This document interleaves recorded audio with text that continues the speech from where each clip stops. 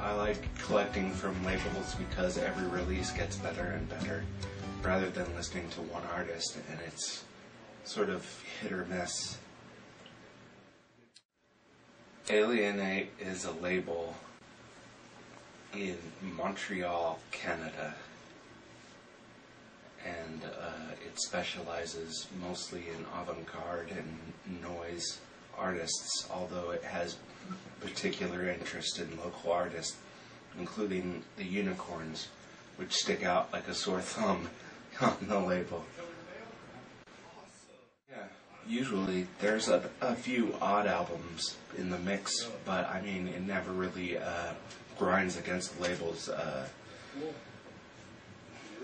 reputation. The first release on the label was by Japanese noise musician, Merzbow, whose real name is Masami Akita. And, and his first, the first release on the label was his Akasha Gora album, which is a live set that's 76 minutes long in one track. And that was started in 1996, the same year that Alien8 was started by the two co-founders.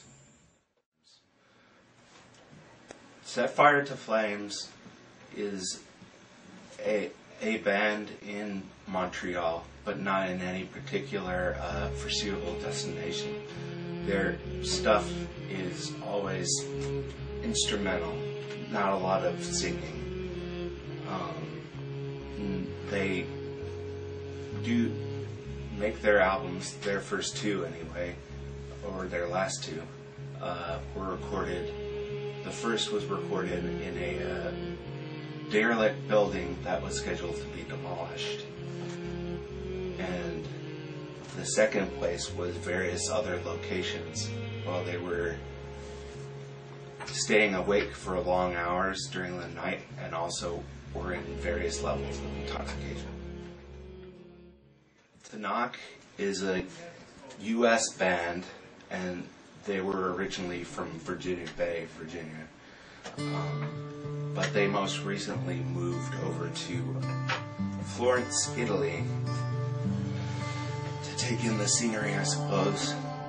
They haven't released a record on Alien8 since their last album, Ardent Fever, Fevers, even though they did release an EP on a different label.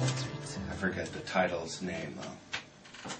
And their stuff is a little more folky, but their four records on Alien8 are kind of a mashing of different sort of styles.